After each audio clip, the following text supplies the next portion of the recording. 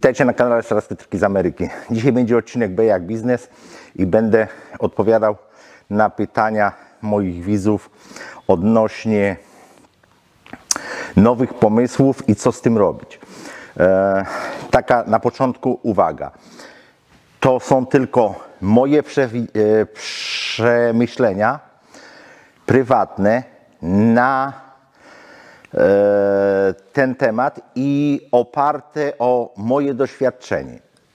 I nieraz słyszałem, jak ludzie mówili: O, gdyby miał to doświadczenie, co teraz i miał 20 lat, to na pewno nie popełniłbym tych błędów. Powiem Wam tak.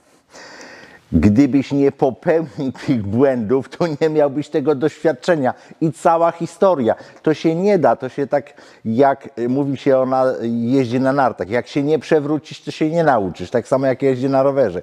Jak się nie przewrócisz, to się nie nauczysz. I życie pokazuje, że wiele dziedzin e, nie da się nauczyć z, uchwycić koncept jakiegoś zagadnienia, jeżeli się nie popełni błędów. I przykładem są chociażby takie internetowe, online kursy taktyczne dla takich ludzi, co tam kurde po lasach biegają i okazuje się potem, że oni taktyczny taki kurs online skończą, wychodzą w teren i na własnym terenie w przeciągu dwóch e, mil kwadratowych są zgubieni i trzeba ich szukać. I taki był przypadek nawet u mnie tu niedaleko w okolicy. Także online nie wszystko da się zrobić, trzeba po prostu przeżyć to wszystko na własnej skórze. I każde pokolenie ma jakieś życiowe zawirowania w e, swoim życiu. Nieraz jest to na początku życia, nieraz to jest na końcu, nieraz to jest w środku. Ja mi się wydaje, że jestem już kurna drugi raz w takim zawirowaniu, dlatego że na początku mojego życia, lata 80. kryzysu, to po prostu i ta hiperinflacja, to wszystko przerabiałem. I teraz widzę, że po prostu, jak mówił Gomułka, e, tak ten nasz w tym białym baraku, e, co tam niby rządzi, a z tyłu ktoś pociąga za sznurki, że wszystko jest pięknie, że gospodarka e, rozwija się i takie pierdu, pierdu, jak to za komuny bym słyszał sekretarza w mainstreamowych mediach, a ludzie wszyscy, ja też wiem, że jesteśmy tuż, tuż, tuż nad krawędzią i oni mówią, że zrobimy wreszcie wielki krok naprzód. Oczywiście, że zrobimy i to będzie wielkie jedno ebnięcie. Ale tak jak mówiłem, e, postaram się odpowiedzieć, bo jest wiosna, może u nas tego jeszcze nie widać, ale podobnież w Polsce jest już od kilku tygodni ciepło i ładniej wiosna i ludzie myślą i dobrze o przyszłości i ludzie mają różne pomysły fajne i chcą coś produkować i zadają mi mnóstwo pytań.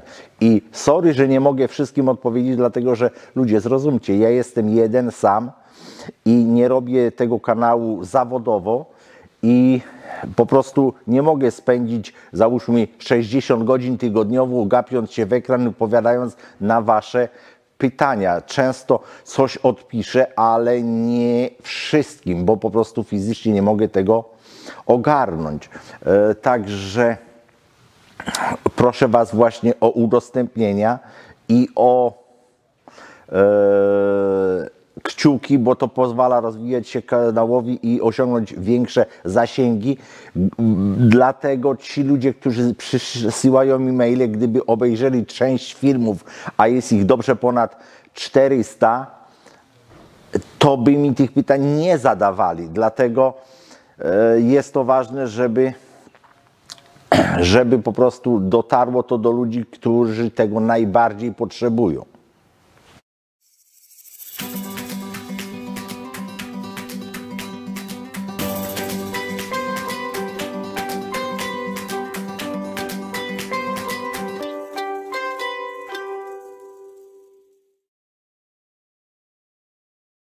Wracając do meritum sprawy, e, dostałem właśnie kilka, w sumie tu kilkanaście meby, ale kil, e, e-maili, ale kilka było takich, że ludzie przysłali mi zdjęcia, e, zrobili rysunki czy prototypy i prosili, prosili o radę i co z tym wszystkim zrobić. I ja powiem Wam tak. Ja sam mam w szufladzie prototypy zrobione jakieś 10 lat temu. Porozdawałem ludziom, żeby to sprawdzić. Mebli, które są genialne, ale nic z tym nie robię, bo chciałem to opatentować. Okazało się, że patent jest zbyt drogi w czasach kryzysu dla mnie, więc nie ma pewności, żeby to się zwróciło. Druga sprawa. Pamiętajcie jedną rzecz, że coś jest genialne, dobre, funkcjonalne, nie znaczy wcale, że to jest sprzedawalne, a tylko to gwarantuje Wam zyski. Jeżeli nie będziecie mieli zysków, to cały misterny plan i, i wylądował, dlatego że bez pieniędzy to będziecie e, Czerwonym Krzyżem czy Matko Tereso. To musi się spinać, to musi się zamykać. Nie jesteście rządem, który sobie wydrukuje pieniędzy ile chce i pitoli, że e, jest wszystko pięknie. U Was musi to się spinać i jeżeli już macie projekt, macie pomysł, musicie zrobić prototyp.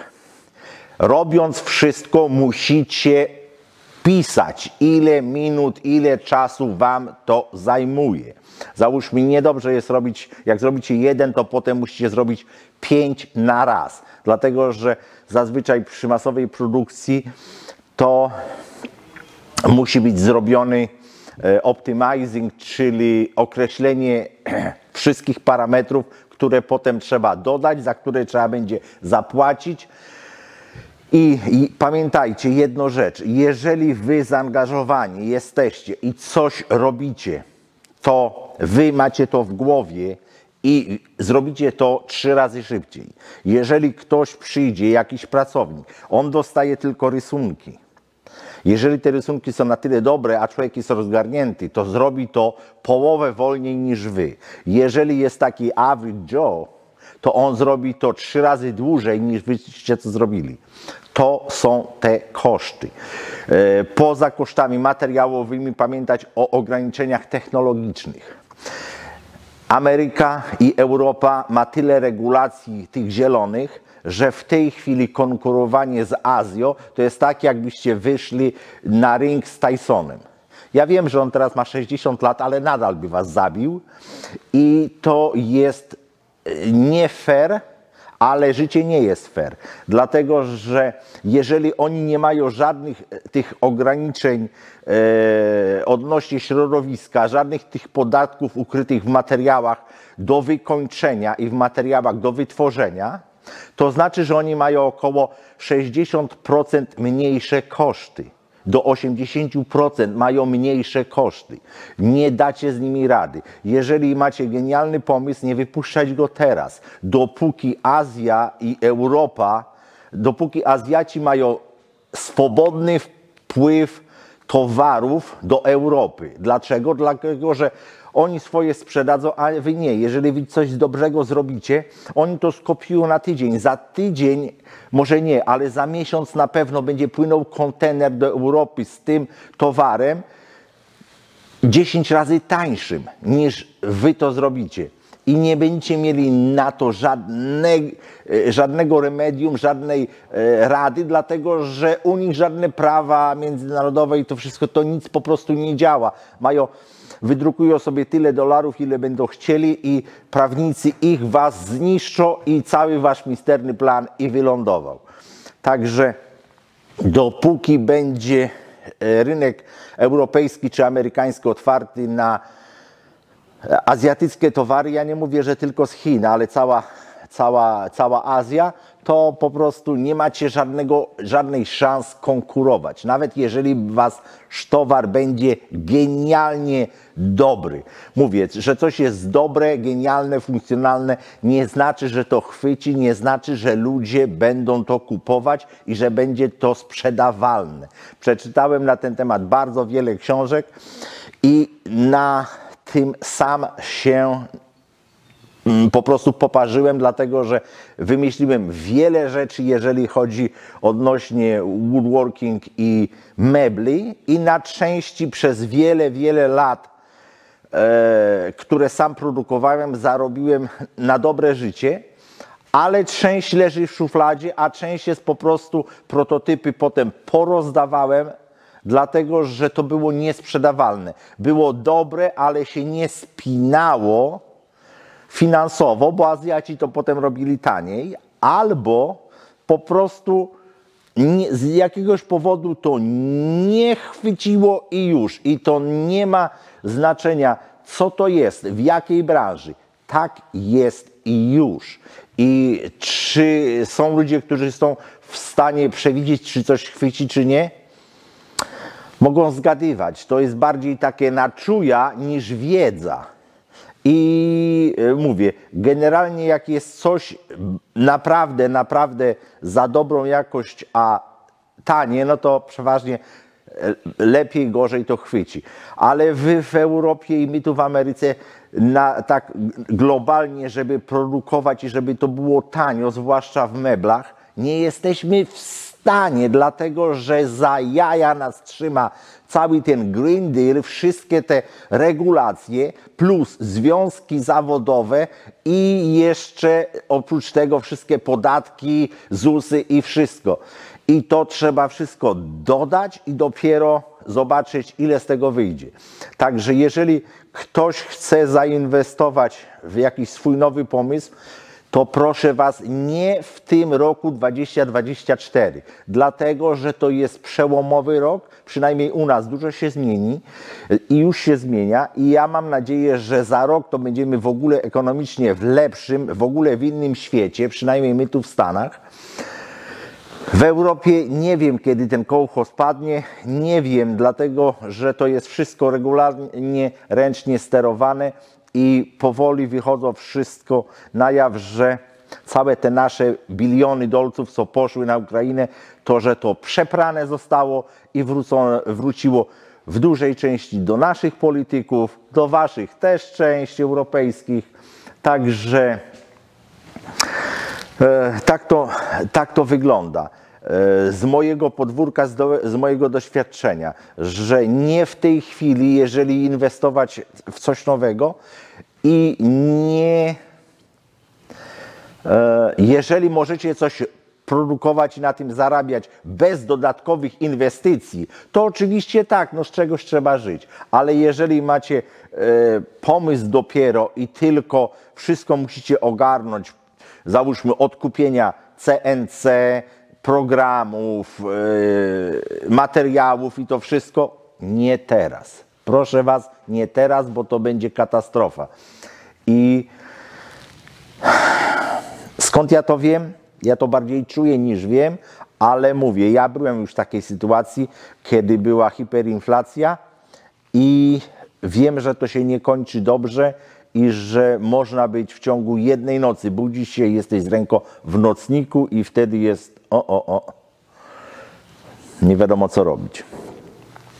Aczkolwiek ekonomia nie znosi próżni i mówię, jak ten świat, e, światowy system e, ekonomiczny to ebnie, to natychmiast powstanie coś innego, może nie globalnego, dlatego że e, ludzie bardziej zarządzają i lepiej jeżeli to jest lokalnie i jeżeli rynki są lokalne i oczywiście dobrze jest kupić dobra gdzieś, e, których nie ma, które są produkowane za granicą, ale jeżeli my lokalnie możemy zrobić to samo, tylko w wyższej cenie, bo mamy standard życia, to znaczy, że wyżej ludzie zarabiają, bo mają wyższy standard życia, to znaczy, że oni mogą są w to, wtedy za to zapłacić. Jeżeli ktoś z zagranicy wtedy e, chce to sprzedać, to zdrowa ekonomia każe dać na to taryfy celne, żeby te na danym e, rejonie, w danym regionie e, ekonomiczno-geograficznym było to fair dlatego że to nie jest fair, że ktoś robi, załóżmy, nie wiem, no, baterię y, y, litowo-jonowo e, w Azji za miskę ryżu i potem ten samochód tutaj jest sprzedany, sprzedawany załóżmy za 5 tysięcy dolarów czy za 10, gdzie oni mają 500% zysku, gdzie nasz tu lokalnie jest produkowany za 100 tysięcy dolarów i oni mają tylko pół procenta zysku. Także to jest trudny temat, trudny głównie do zrozumienia, ale pamiętajcie, że żyć trzeba i lokalnie ludzie rządzą się najlepiej. Jeżeli ktoś jest jakimś tam daleko politykiem, to on nie ma wglądu. On po czasie e, bardzo krótkim traci kontakt z rzeczywistością. On żyje w jakiejś bańce urojonej, globalistycznej i potem to się przekłada i oni układają nam życie tu lokalnie, nie mając w ogóle to widać było po ostatnich zlotach samolotami tych zielonych. Każdy pchał zielony ład. Wszyscy przylecieli 200 odrzutowców. To te odrzutowce spaliły każdy z nich więcej CO2 dał do atmosfery niż wasz samochód przez całe życie. Także są dwa, jak gdyby, garnitury praw dla zwykłych obywateli dla, dla tych na wierszynce i należałoby, żeby to się zmieniło. Nie wiem, czy tego filmu mi nie zdejmą, dlatego że nie bardzo e, wypowiadam się o całej tej agendzie pozytywnie, ale no cóż, nie mam sponsorów żadnych, więc na razie jeszcze mogę mówić to, co chcę. E, pamiętajcie też jedna bardzo ważna rzecz. Każda firma, jak zaczyna z każdym jakimś produktem, to ona przechodzi pewne stopnie. To są tak jak przewracanie kartek i pisanie rozdziałów książki własnego życia czy życia własnej firmy. I nie możecie się porównywać z kimś, kto już pisze 20 czy 30 rozdział z waszym pierwszym rozdziałem. Jeżeli wy dojdziecie do 10 rozdziału, nie znaczy, że tamta firma jeszcze będzie istniała. Tak na przykład było z Kodakiem. Ja pamiętam, kiedy Kodak rządził wszędzie i miał e, wieżowce po całych Stanach i e, była mocna firma. Był, można powiedzieć, że prawie że w Stanach potentatem, jeżeli chodzi o fotografię e, kolorową. Kto pamięta Kodaka? No właśnie. Także czasami jedna albo dwie złe decyzje na wierszynce pozwolą firmie się wyłożyć i padnąć na ryj dokumentnie, że nie przeżyje. Dlatego nie stresować się i dać sobie czas, bo jak to mówią, jeżeli coś, coś jest nagle, to po diable. Także nigdy pośpiech jest tylko i wyłącznie wskazany przy łapaniu pcheł. Przy biznesie nie do końca. I nieraz ludzie mają do mnie pretensje, zwłaszcza z Europy, że o, w weekend do mnie nie można się dodzwonić, że ja nie odbieram telefonów. Tak, dlatego że Ameryka mi nauczyła, że o godzinie 18 u mnie wyłączam telefon i koniec. Nie ma czegoś takiego, że do jutra nie może poczekać. To jest jedna rzecz. Przez weekend nie ma czegoś takiego, że nie może biznesowo coś poczekać do poniedziałku. Masz z tym problem, nie robię z tobą biznesu. Go away, that's it. I ludzie poważni tak robią i ja to się nie nauczyłem jakiś tam kurde leszczy, tylko nauczyłem się od bardzo, bardzo poważnych, grubych ryb, żeby zachować zdrowie psychiczne i zdrowie e, fizyczne, to niestety, no ale trzeba wyjść z pracy i zapomnieć o tym. Tak samo, e, tak samo z tym. Jeżeli macie dobry pomysł, to mówię, robić coś w tym kierunku, ale nie inwestować w tym roku w obrabiarki, w, cały projekt, dlatego że to się nie, e, może to się wyłożyć, dlatego że, mówię, nie jest to tajemnicą, wystarczy posłuchać jakichś e, mądrzejszych ludzi nie w mainstream mediach angielskojęzycznych, bo ja nie sądzę, że e, to dociera że ktoś to po prostu tłumaczy e, rzetelnie na e, inne języki. Także w oryginale, w angielskojęzycznych, nie mainstreamowych mediach posłuchać i zobaczycie, dojdziecie do tego wniosku właśnie, że sadzimy na krawędzi i że będzie duża zmiana. Ale robić w tym kierunku coś trzeba, dokumentację przygotowywać, proces technologiczny zrobić. To, co możecie zrobić bez większych nakładów finansowych. Dlatego, że jeżeli to ebnie, to może być tak, że maszyny, które są teraz bardzo drogie na każdą literę, czy to na C, czy to na F, czy to whatever, to będą w likwidacji za dolara będzie można kupić. Będzie drożej kosztowało przywieźć taką maszynę niż kupić taką maszynę. I ja to przerabiałem w latach 80.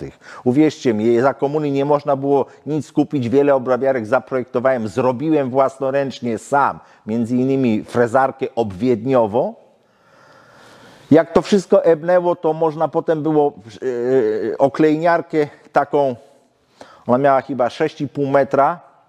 E, oklejniarkę kupiłem taniej niż przywiezienie jej 200 kilometrów mnie kosztowało. Także zobaczymy jak to będzie. W każdym bądź razie, jak się podobało, dajcie lajka. Miłego dnia Wam życzę. Nie łamcie się, człowiek nie sznurek, wytrzyma wszystko. I niech moc będzie z Wami.